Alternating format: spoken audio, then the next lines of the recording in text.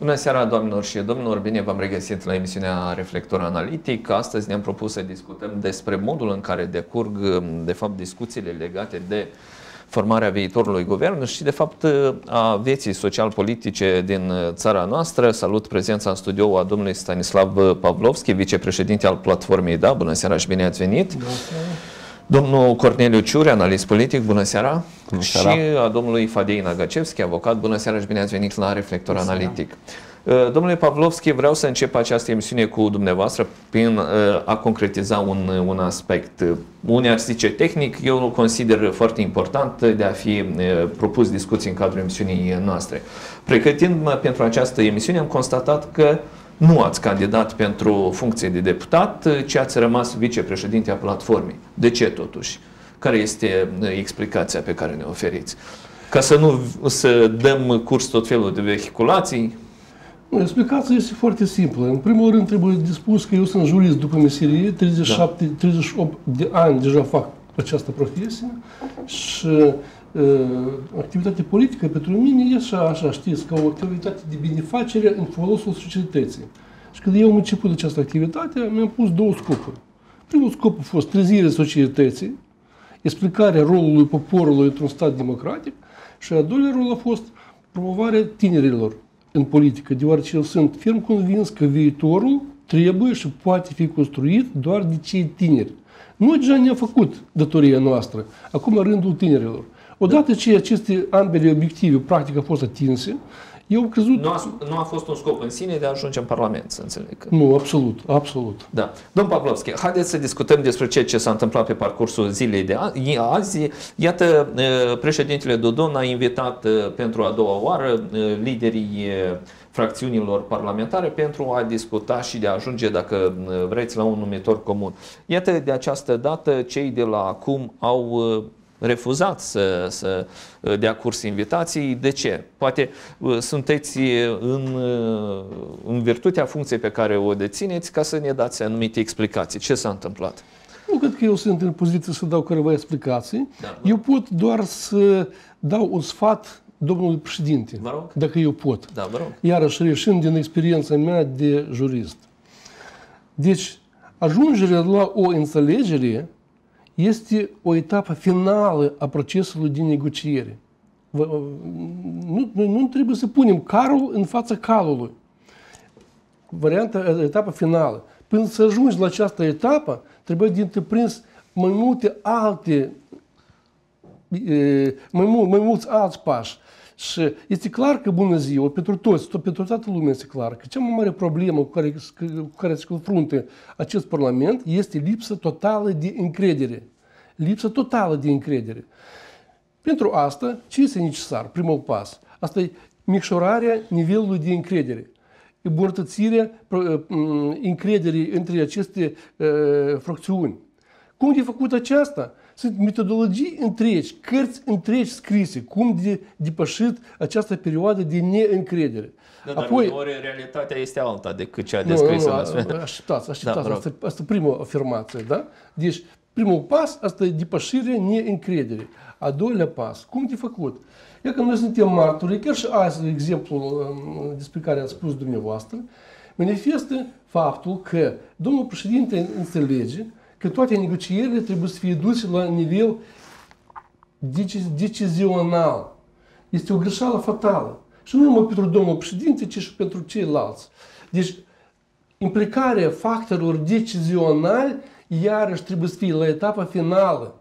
Până la asta, cum se face? Cum se fac lucrurile? Se lucrează la nivelul de experți. Experții trebuie să discute ci nu politicieni, majoritatea dintre care nu au experiență în general în această activitate. Da. Asta a doua, a doua afirmație. Și a treia afirmație. Iată la Curtea Europeană, unde eu am, am avut onoarea să activez. Dacă o cameră intră în impas, doi pro, doi trei pro, trei contra și unul se obține. Se obține. Cum de făcut? Cum de rezolvat problema în această situație? Curtea Europeană procedează foarte simplu. Da. Creează comitetul de redactare să așează oamenii din, dintr-o parte și dintr-o altă parte și discute împreună asupra acestor proiecte. Ajunge la cei că se fac și două, trei proiecte pe, ace- pe aceeași tematică. Și pe urmă se organizează vot indicativ și DICAT, care, uh, varianta care acumulează mai multe voturi, propune, se propune oficial pentru vot.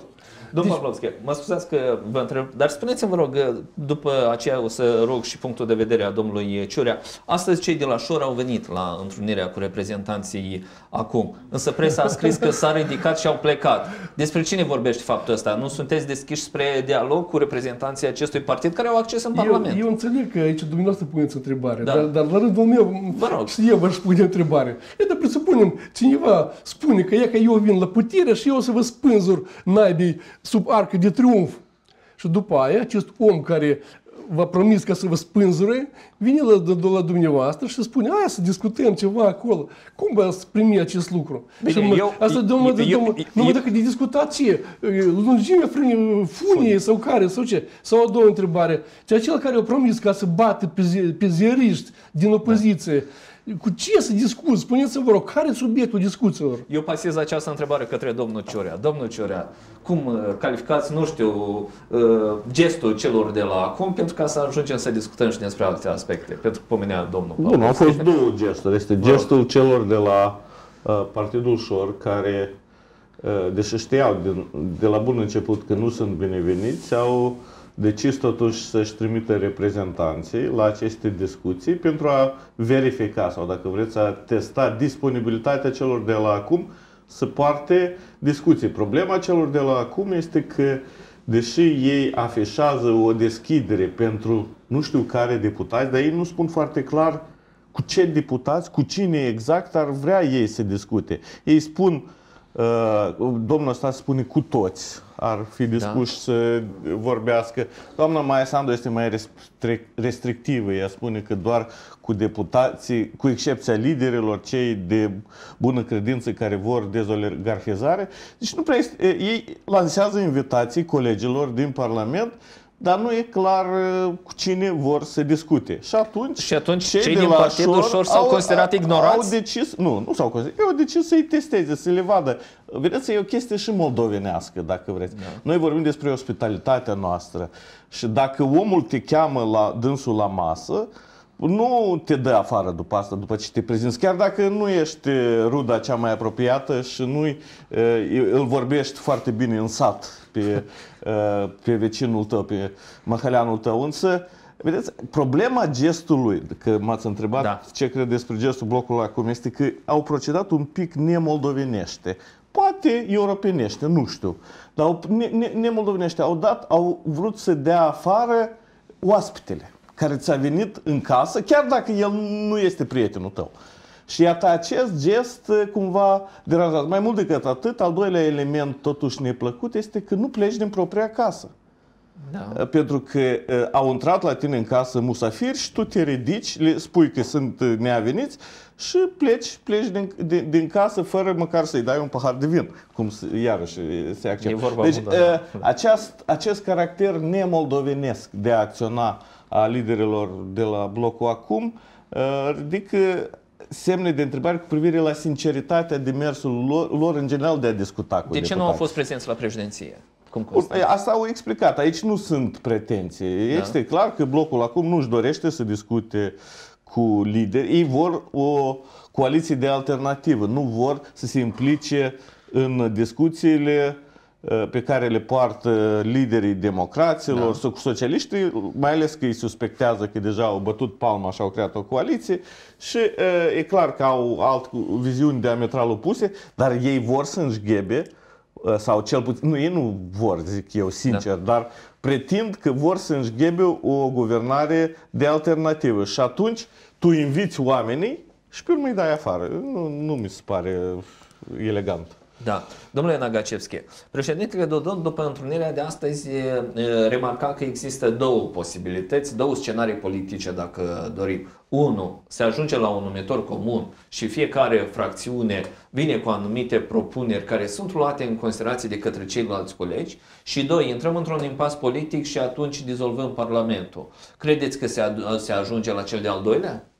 Bine, Sau haideți care să... credeți dumneavoastră că este cel mai veridic? În primul rând trebuie să observăm că după prima invitație care a făcut-o domnul da. președinte, după prima discuție de săptămâna trecută, observăm cum s-a le-a tronulse, cum spune rus. De o parte, Partidul Democrat comunică cu Partidul Socialiștilor într-o anumită formulă, oricum comunică Partidul Socialiștilor împreună cu blocul acum chiar dacă prin intermediul conferințelor de presă, dar oricum există un gen de comunicare. Noi avem o anumită claritate cu privire la ce vrea blocul acum în continuare, noi înțelegem că totuși există o predispoziție de a comunica în continuare, deci președintele în principiu, chiar dacă nu este rolul lui constituțional de a expres indicat în Constituție, de a interveni în vederea pornirii negocierilor, da. președintele fiind uh, acel, acea persoană care, mediatorul puterilor în stat, el cred că a făcut un lucru, un gest de bună credință și nu este anticonstituțional, dar a făcut un lucru extraordinar.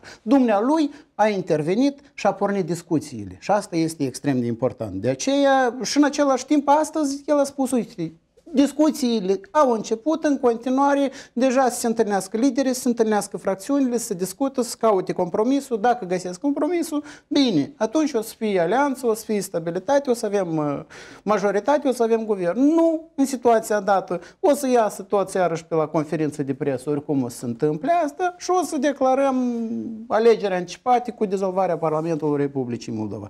Deci lucrurile care le-a făcut președintele, ele, chiar dacă nu sunt prescrise expres de Constituție, instituții, ele sunt extrem, au fost extrem de benefice pentru uh, situația creată și noi observăm că Însă și actorii electorali au început, politici au început a comunica. Chiar și ieri domnul Andrei Năstase la un post de televiziune a enunțat că este dispus pentru comunicare.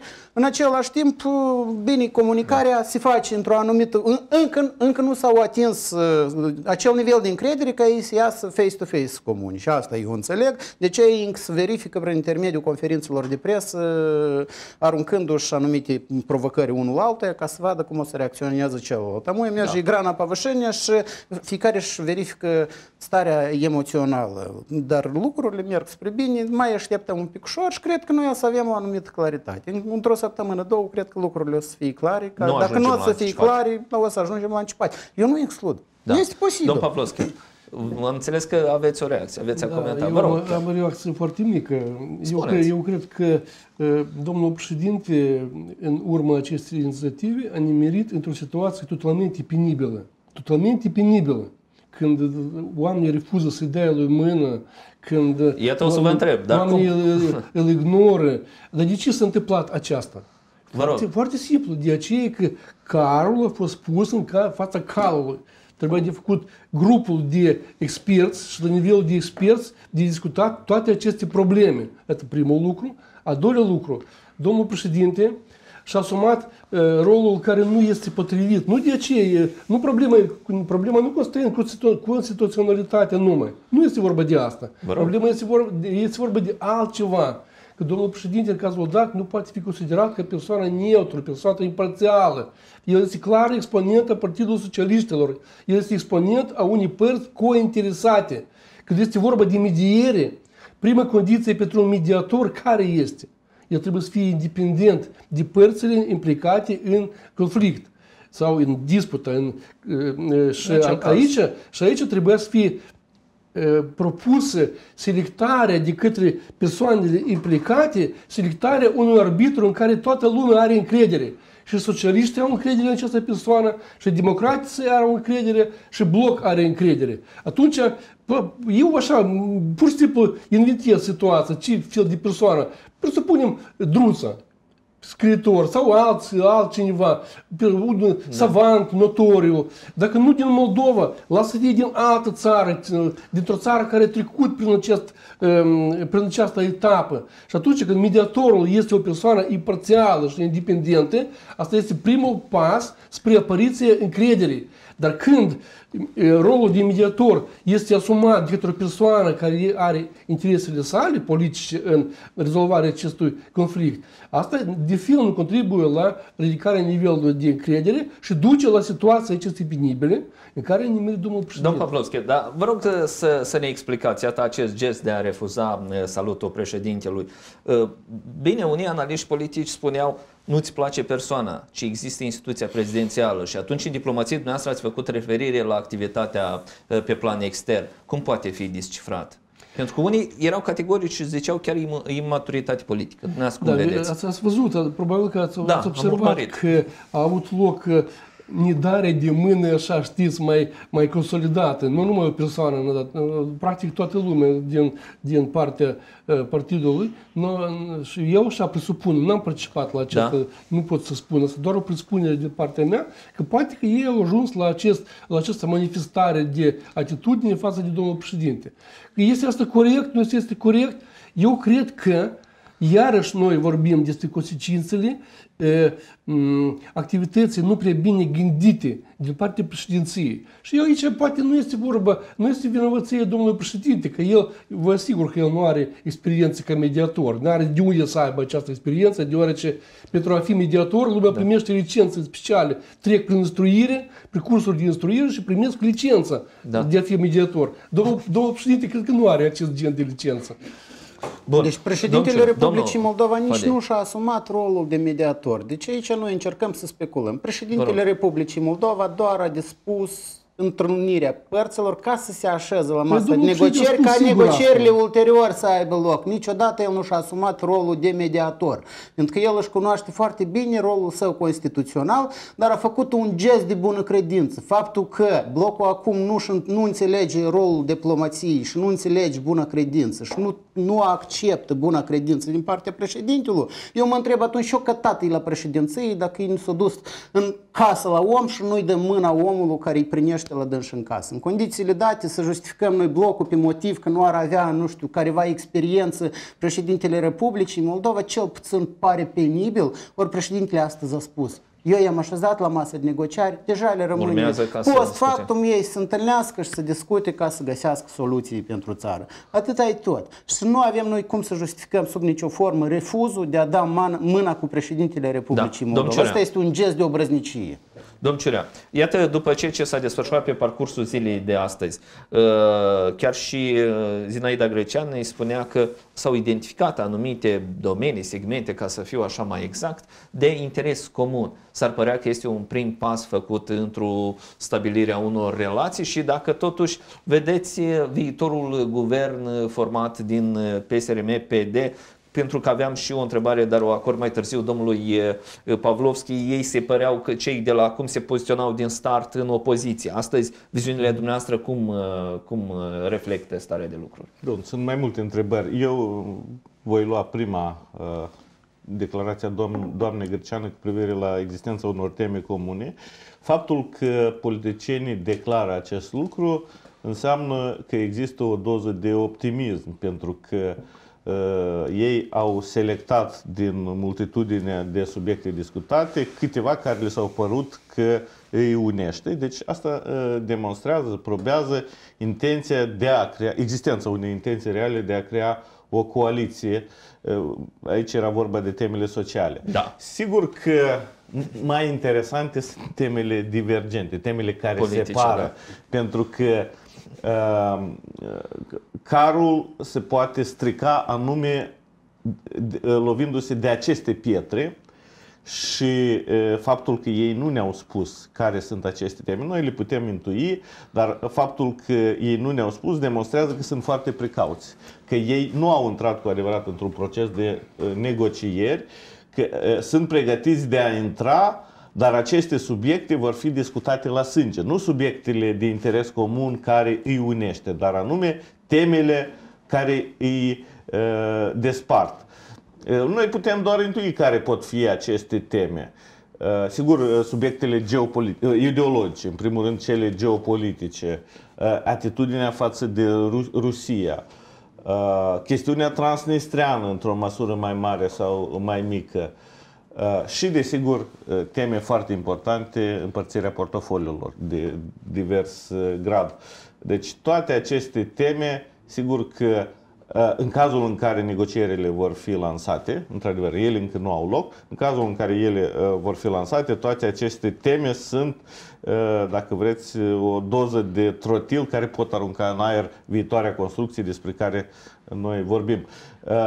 Cred eu sau nu cred în șansele acestei coaliții, eu cred că în proporție de 50%, bun, este un pronostic da, în tot cazul, acord mai multe șanse acestei coaliții decât unei coaliții din care să facă parte blocul acum, pentru că senzația mea este că blocul acum nu își dorește uh, în compania acestor lideri să asiste sau să facă parte din guvernare. Deci singura șansă reală pentru ca uh, să avem o guvernare și să evităm alegerile anticipate este un anumit dialog serios între PDM și PSRM. Domnule Nagacevski, spuneți-mi, vă rog, urmează ca să mai avem asemenea invitații, fie din partea diferitor partide politice de a se așeza la masa negocierilor pentru a, a fi, nu știu, toate cărțile deschise pe față, pentru că, spre exemplu, chiar ex-primarul de Chișinău, Chertoacă, zicea că ar fi cazul ca toți să se unească și să deschidă cărțile și să discute pe șleau. Eu cred că blocul acum analizează și formula respectivă privind, cam citit și eu postul domnului da. Chertoacă, privind transmiterea invitațiilor oficiale cât fiecare da. fracțiune în vederea inițierii discuțiilor. Bine, el avea un alt scop declarat în Chertoacă, dar în mod normal formule de, de invitare la discuții trebuie să existe și eu cred că în continuare o să existe un anumit gen de comunicare. Întrebarea este cine va face în continuare următorul pas. pas în vederea stabilirii acelei întâlniri, fiindcă Modul în care a propus astăzi, spre exemplu, blocul acum de a comunica cu televiziunea, asta nu este altceva decât show politic. Deci dacă ei lucrează pentru a obține uh, titluri informaționale, asta e ok. Dacă realmente vrei să mediezi ceva, să găsești compromis, să găsești soluții, să găsești formule, este nevoie de a te așeza și de a-ți asigura zona asta privată, fiindcă eu știu cum influențează spațiul public și comunicarea în spațiul public. Deci sunt anumite chestiuni care trebuie să fie da. discutate într-o zonă privată. Și în măsura în care tu ești dispus de a comunica, tu trebuie să accepti că negocierile trebuie să aibă loc și într-o zonă privatului, după care ieși și expui opinii publice presii la ce ai ajuns tu. Însă pașii cum ajungi tu trebuie să fie comunicat într-o zonă a intimității. Chiar și aceiași judecători, inclusiv de la Curtea Europeană, intră în camera de deliberare unde există liniște și pași, unde se analizează toate situații în liniște, excluzându-se influențele externe. Altfel, tu nu poți să iai o soluție, o decizie, o opinie cântărită. Altfel, asta este show și PR de doi bani pentru a bucura opinia publică. Dacă noi vrem să creăm emoții în continuare, pasiune e ok. Dacă noi vrem să dezblocăm situația și să găsim o formulă da. de stabilizare a situației politice din Republica Moldova, de investirea unui guvern, de crearea unei majorități, în condițiile date, eu presupun că trebuie să ajungem la o formulă rezonabilă de comunicare, de mediere, de discuții soluții pentru a depăși acea frică, acele frustrări, acele neîncrederi care sunt între participanții la acest proces politic destul de complex. Și nu uităm, noi nu suntem într-un proces simplu. Alegerile au fost extrem de complicate în Republica Moldova. Retorica respectivelor alegeri, alegeri a fost una deosebită în raport cu ce a fost anterior. Însă și Soluțiile care le-au dat alegătorul, 30, 35 și 26, ele toți sunt extrem de complicate. Și noi reieșim dintr-o cortină extrem de complexă și respectiv în situația dată și trebuie și anumite soluții extrem de echilibrate, bine chipzuite, bine puse la punct pentru ca să poți să analizezi și riscurile, și plusurile, și toate, toate, toate, ca să ai cea mai bună soluție și pentru partid, și pentru țară, și pentru cetățeanul Republicii Moldova. Mulțumesc. Domn Pavlovski, uh, cel puțin eu, în calitate de ziarist, îmi creasem o impresie după alegerile din 24 februarie că cei de la acum se poziționează în opoziție. După aceea au existat declarațiile uh, reprezentanților care uh, o propuneau pe doamna Sandu în calitate de prim-ministru, domnul Năstase în calitate calitate de uh, speaker. Vreau să aflu de la dumneavoastră care este realitatea uh, pe care o împărtășesc uh, membrii acestui uh, bloc și dacă în condițiile în care se acceptă aceste uh, propuneri, doamna Sandu premier și domnul Năstase speaker, se acceptă o coaliție uh, cu partidele care uh, se tot, uh, uh, nu știu, sunt poziționate într-o situație de a merge sau cu blocul acum sau cu Partidul Democrat? Vă rog. Eu sunt uh, ferm convins că nici o coaliție oficială, formalizată, nici cu democrația, nici cu socialiștii nu este posibil. Nu este posibilă. Chiar dacă li se oferă aceste funcții. Cu democrație, de aceea că uh, există suspiciuni rezonabile că acest partid a fost profund in- antrenat în actele de corupție de, de scară largă la, la noi în Moldova și să, e, să te unești cu dânsi înseamnă că să devii complice acest, acest, acestor oameni. Ceea ce ține de socialiști, e, socialiștii promovează un vector care este diametral e, opus vectorului care este promovat de către e, cel puțin platforma Demnitate și Adevăr. Deci vectorul strict pro-european. Al nostru și vectorul lor pro-Rusie de partea lor. De partea lor. În aceste condiții de um, reconciliat acest, acești doi vectori diametral opuse este pur și simplu imposibil. Ce, dar, și atunci cum vă iarăși, poziționați? Dar iarăși, eu deja am vorbit de mai multe ori Vă rog, și să, să, să repet și aici încă o dată că da. dacă noi să discute, deschidem Constituția Republicii Moldova, noi să vedem că Constituția Republicii Moldova nu operează cu așa noțiuni ca coaliție, alianță sau așa ceva. Fiecare deputat, fie el ales pe lista de partid, fie el ales în capacitatea sa individuală, în circunscripții uninominale, după ce el devine uh, deputat, el se află în serviciul poporului, nu în serviciul partidului. Nu în serviciul partidului. La noi situația a fost e, pusă e, de pe picioare în cap când a, azi democrația, sau când ieri au spus că niciun deputat din partea e, Partidului Democraților n-a să vină la aceste negocieri. Ce înseamnă asta? Ce înseamnă asta? Înseamnă că deputații lor nu sunt independenți în activitatea sa.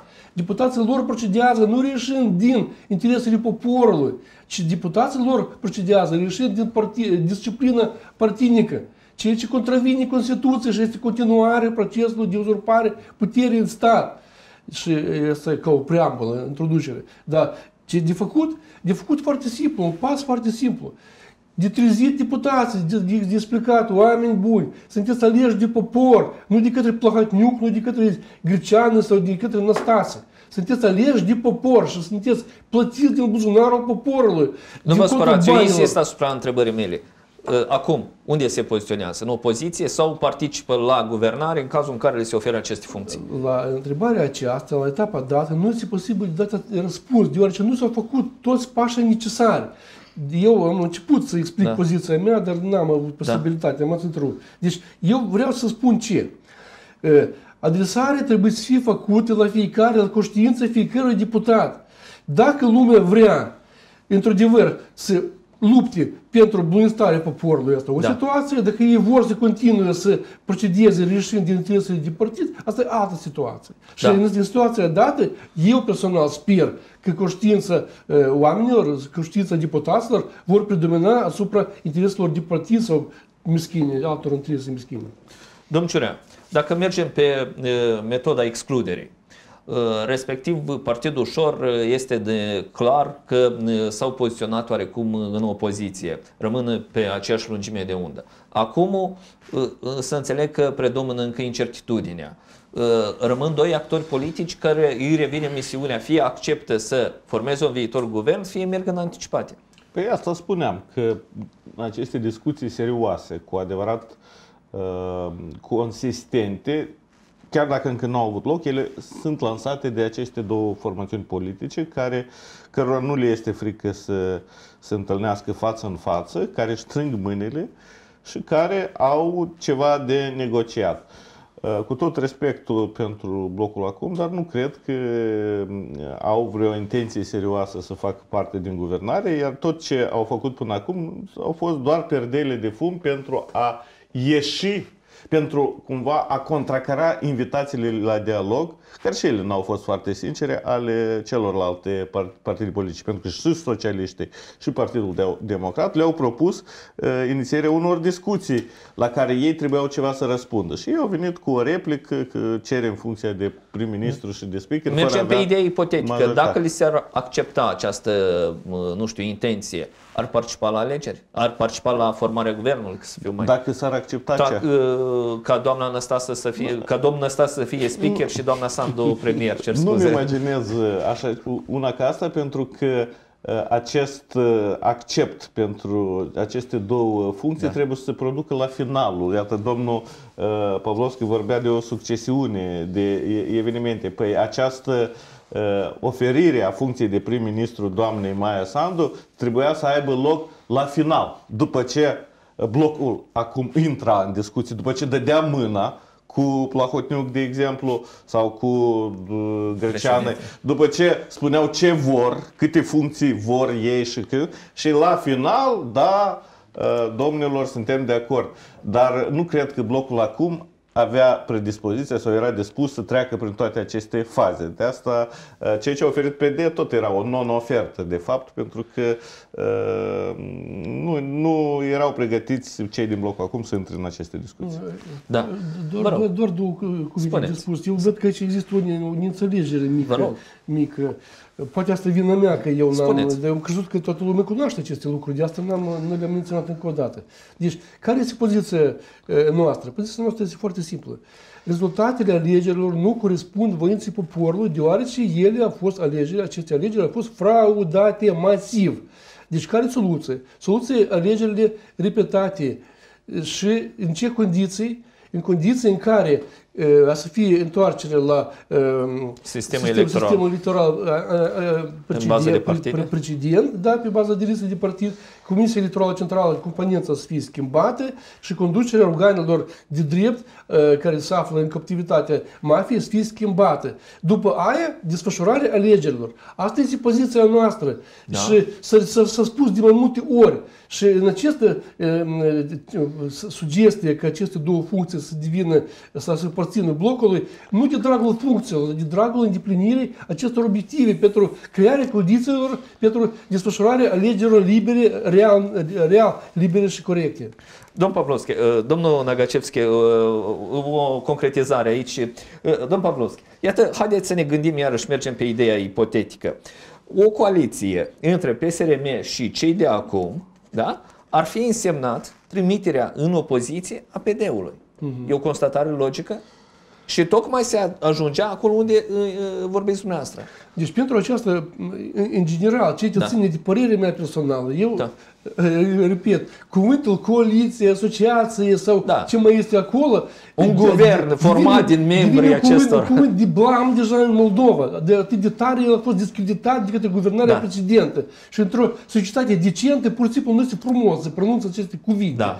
Dar de votat, reieșind din prevederile Constituției, că nimeni nu încurcă deputaților democrați, socialiști sau a lui Șor să voteze pentru propunerile normale, la fel că nimeni nu încurcă deputaților de partea blocului să voteze pentru propunerile normale. Eu vă asigur că dacă mâine, mâine deputații socialiști ar propune uh, o soluție pentru democratizarea țării, Că mie personal da. nu place cuvântul deoligarhizare, deoligarhizare, nu-mi place mie acest cuvânt, deoarece nu este cuvânt legal. Nu este cuvânt legal. Legea nu conține noțiunea de oligarhizare. Nu, dar s-ar scoate da. statul de sub captivitate, asta, așa cum uh, ați remarcat. Da, asta și, și statul, uh, scoaterea statului de captivitate, la fel, nu este o noțiune legală.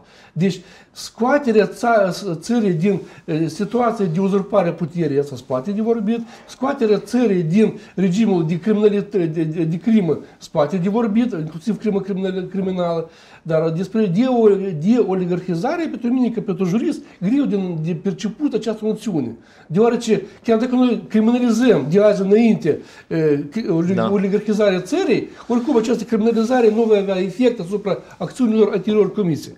Deci noi trebuie să reagim re, bazându-ne pe baza legală există la moment în Republica Moldova. Da. Domnul Agacevski, cei de la acum au uh, pomenit în repetate rânduri că, iată, vor să scoată statul din uh, captivitate și au venit cu șapte sau opt propuneri pe care uh, încercau să să-i convingă și pe reprezentanții celorlalte partide că sunt prioritare și dacă vor da undă verde acestor uh, proiecte, atunci starea de lucruri pe arena politică s-ar putea cât de cât clarifica. Vreau uh, punctul de vedere al dumneavoastră.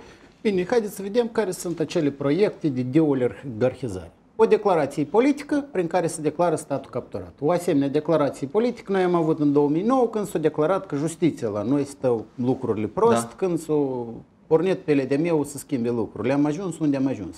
A doua, trei comisii de anchetă să fie create parlamentare, dar fără instrumentariu necesar, fiind comisiile parlamentare de anchetă nu au instrumentarii penale pentru a verifica inclusiv da. din punct de vedere penal anumite chestiuni. Eu dacă îmi spuneți măcar o comisie parlamentară de anchetă care a avut niște consecințe serioase asupra situației politico-juridice din Republica Moldova, eu am să fiu foarte bucuros. Noi nu avem asemenea situații.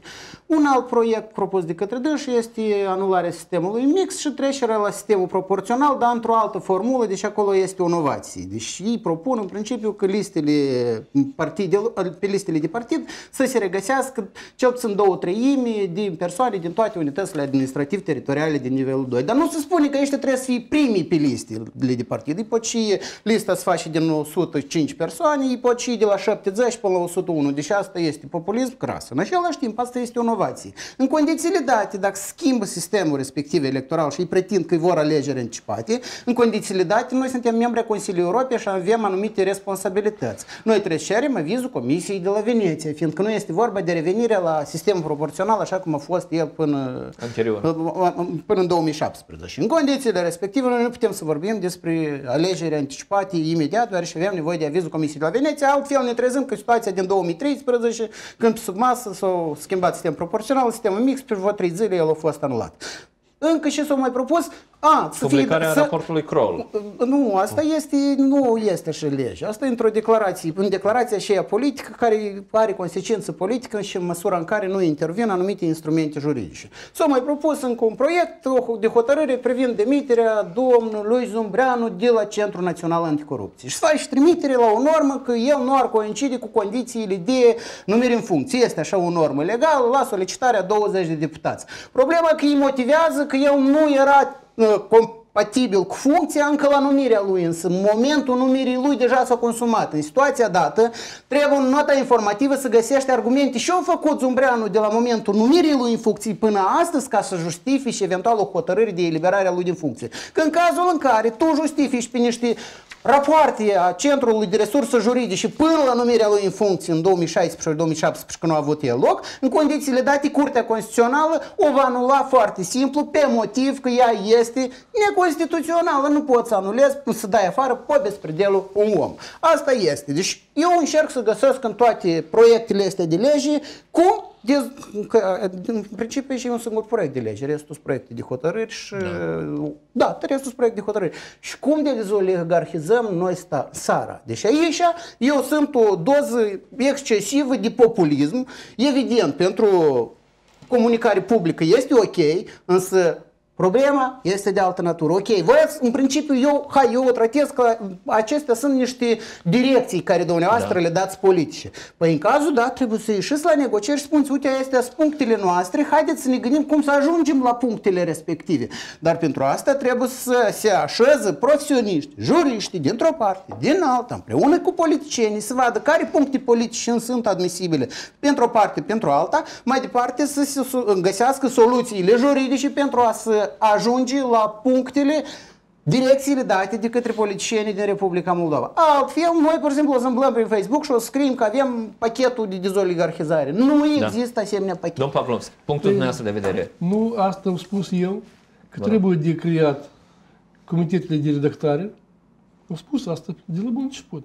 Și trebuie de creat condițiile în care uh, să fie uh, depășită situația de neîncredere. Deci la nivelul de expert trebuie să fie efectuată activitatea. Asta, de asta eu v-am spus că la noi carul a fost pus în fața calului. Deci tot s-a redus la întâlnirea oamenilor din nivel decizional ceea ce nu este acceptabil. Oamenii la nivel decizional nu sunt experți și nu pot proceda așa cu cunoștință în cauză în domeniul unor lucruri concrete. Și aici noi trebuie să divizăm iarăși în două părți situația. Deci lucruri de caracter de drept și lucruri de caracter politic. Deci ceea ce este populism, ceea ce nu este populism, asta da. nu ține de drept, asta ține de activitatea politică. Domnul Lăgăcescu, fiind avocat, trebuie să înțeleagă aceste lucruri. Asta deja partidele să decide ce ei cred este bine, ce, nu, ce ei cred că nu este Pavlovski, bine. Dar... Și în urma negocierilor, la da. nivelul de experți, ca primul pas. Mai departe, pentru aceasta există Parlamentul, unde lumea votează, ridicând mână. Deci atunci noi să vedem ce este populism, ce nu este populism. Zic că lucrul ăsta e posibil într-un termen relativ uh, scurt pentru că s-a cerut uh, demisia sau cel puțin se merge pe ideea uh, demisiei membrilor Consiliului Audiovizualului, a procurorului general și așa mai departe. Să înțelegem că dacă se întâmplă aceste lucruri, ele oricum țin de o durată. Nu, eu sunt de acord cu domnul Găcescu în cazul dat că dimiterea de dragul Dimitrii este un act uh, ilegal. ilegal, dacă nu și anticonstituțional. Deci asta trebuie da. de văzut care sunt reglementări legale care prevăd numirea sau distruirea unui sau altul funcționar public. Da. Dar în teorie, în teorie, poate fi schimbată și legea în baza căruia a fost omul numit în funcție. Da. Să fi fost dorință, nu, să fi fost dorință și să fi fost uh, înțelegere că asta este un pas spre reconciliere. Că nu trebuie să fie pusă persoana așa ca Dumnezeu, știți, tot se roagă la persoana aceasta. Nu! Persoana dacă e devine obstacol pentru negocieri și dacă e devine obstacol pentru ajungerea la un consens în societate, persoana trebuie singură să fie conștientă să-și dea demisia de funcție. Oamenii buni, e că eu îmi depun demisia, poftim, sunteți liberi să rezolvați problema. Da. Dar noi Domnul toți s-au agățat. Haideți să admitem că ceea ce vorbește domnul Pavlovski este realizat.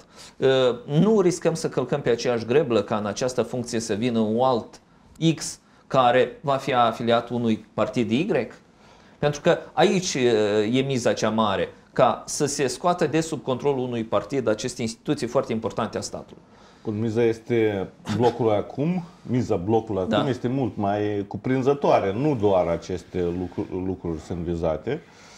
Uh, și, bun, nu am nicio obiecție, este corect, poate, în cazul în care dorești, așa cum formulezi, dezoligarhizarea sau scoaterea din captivitate sau decriminalizarea, atunci uh, îți stabilești o anumită succesiune de pași printre care pot fi aceste Ordinea priorităților în agenda da, politică. Idee, bun, nu pot să zic că este proastă. Nu este clar unde e voința politică. Prin ce elemente, prin ce pârghii blocul acum va dori, să, va reuși să obțină acest obiectiv.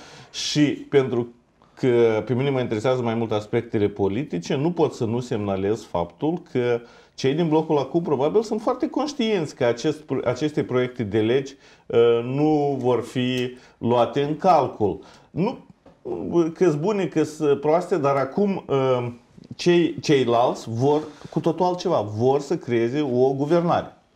Deci asta este ideea care îi animă și în aceste condiții, bun, blocul acum, prin lansarea acestor proiecte de legi, uh, Uh, vine cu o alternativă care nu este sprijinită de o voință politică clară și, bun, prin acest proiect de lege, de fapt, blocul acum trece în opoziție. El arată că pe dânci au o agendă diferită de agenda partidelor principale, socialiștii și Partidul Democrat. Da, domnul Gacevski.